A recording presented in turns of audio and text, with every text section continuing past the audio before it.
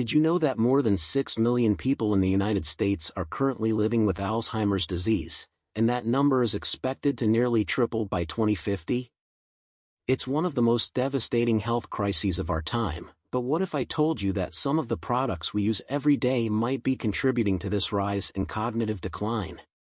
From the food we eat to the products we use, there are hidden dangers lurking in many of the things we consume. Some of these common substances, called neurotoxins, can have a serious impact on your brain health, leading to memory loss, confusion, and even conditions like Alzheimer's and dementia. In this video, we'll explore six neurotoxins that could be putting your brain at risk. And with more than 20% of the population consuming these substances daily, it's crucial to know what they are and how you can protect your mind. Stick around, because you'll want to hear this. 1. Aspartame. Let's start with a name you've probably seen on countless labels, aspartame. This artificial sweetener is marketed as a calorie-free sugar substitute and is found in over 6,000 products, including diet sodas, sugar-free gum, protein shakes, and even medications like cough syrups. But is it as harmless as it seems? Aspartame is made up of three components, phenylalanine, aspartic acid, and methanol. While these may sound harmless, here's the catch. When aspartame is consumed, it breaks down in your body, releasing methanol. Methanol can convert into formaldehyde, a toxic substance linked to brain damage and memory loss. Studies suggest that aspartame might act as an excitotoxin. This means it can overstimulate neurons to the point of damage or death. For people who consume aspartame regularly, this could lead to symptoms like brain fog, headaches, and even long-term neurodegenerative effects. Some researchers have also raised concerns about aspartame's potential role in Alzheimer's disease. Long-term consumption has been associated with increased oxidative stress and inflammation in the brain, two major factors in cognitive decline. While the debate around aspartame continues, the safest approach is to limit your intake. Opt for natural sweeteners like stevia or monk fruit if you're looking for a healthier alternative. 2. Diacetyl. Next, we have diacetyl.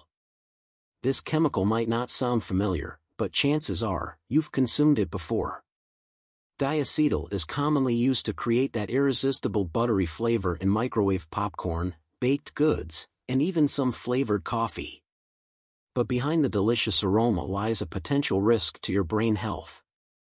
Diacetyl can cross the blood-brain barrier, a protective shield designed to keep harmful substances out of the brain. Once inside, it can cause oxidative stress and inflammation, two key processes that are strongly linked to neurodegenerative diseases like Alzheimer's.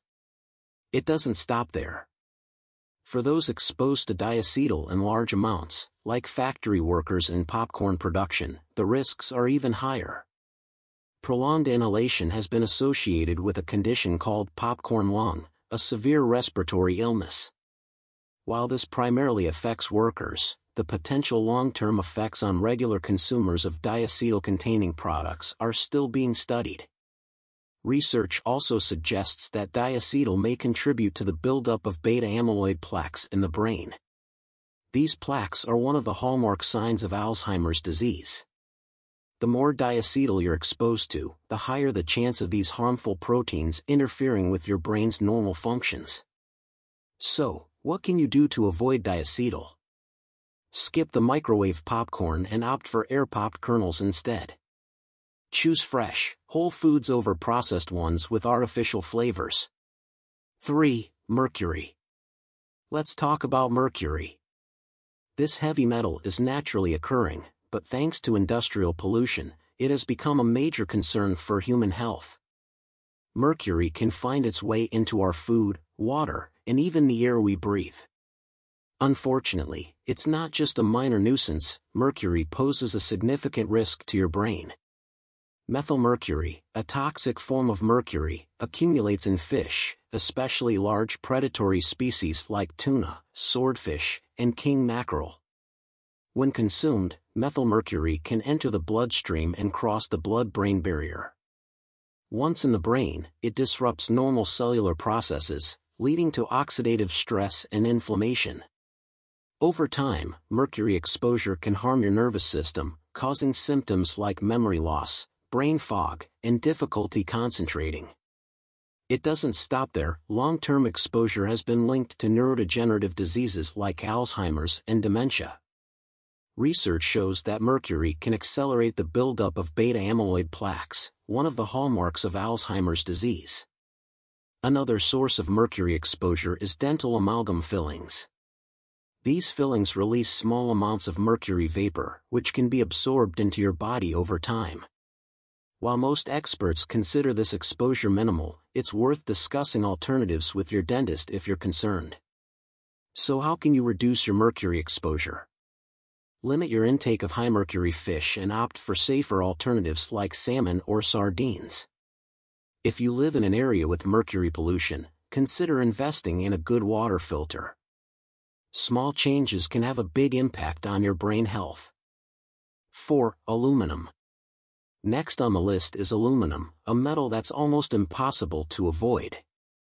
It's in our cookware, foil, deodorants, food packaging, and even some processed foods. While aluminum is convenient, there's growing concern about its potential impact on brain health, particularly its link to Alzheimer's disease. Here's why aluminum is concerning. It can accumulate in the body over time, especially if you're exposed to it regularly. Once it enters your bloodstream, aluminum can cross the blood-brain barrier. In the brain, it has been shown to disrupt neural processes, leading to oxidative stress and inflammation, two key factors in cognitive decline. Some studies suggest a connection between aluminum exposure and the buildup of beta-amyloid plaques, one of the primary markers of Alzheimer's disease. While this link is still being debated, it's clear that minimizing aluminum exposure is a wise precaution. One major source of exposure is cookware. Aluminum pots and pans can leach small amounts of the metal into food, especially when cooking acidic dishes like tomato sauce. Another source is antiperspirants, many of which contain aluminum compounds. Processed foods, especially baked goods, can also contain aluminum-based additives. Reducing aluminum exposure is easier than you might think. Switch to stainless steel or cast iron cookware, use aluminum-free deodorants, and store your food in glass or stainless steel containers instead of foil. When buying processed foods, check the label for ingredients like sodium aluminum phosphate. 5. Fluoride. Fluoride, a name we've been told to associate with strong teeth. It's added to toothpaste, mouthwash, and even public water supplies in many parts of the world. But while fluoride has undeniable dental benefits, growing evidence suggests that excessive exposure could have a darker side, especially for your brain fluoride can cross the blood-brain barrier and accumulate in brain tissue over time. Research has linked chronic fluoride exposure to oxidative stress and neuroinflammation, both of which are major contributors to cognitive decline and neurodegenerative diseases like Alzheimer's. One of the most concerning studies found that high fluoride levels in drinking water were associated with lower IQ scores in children. While the doses required to cause noticeable harm are still debated, long-term exposure to fluoride may pose risks to brain health, especially in vulnerable populations. In addition to drinking water, fluoride exposure comes from dental products like toothpaste and mouthwash. While these are generally safe when used as directed, swallowing toothpaste or using excessive amounts can lead to overexposure. So how can you minimize fluoride exposure while still protecting your teeth? If you live in an area with fluoridated water, consider installing a reverse osmosis filter to remove excess fluoride. Opt for non-fluoridated toothpaste, especially for young children, and avoid swallowing dental products. 6. Monosodium glutamate, MSG. Who doesn't love a meal bursting with flavor?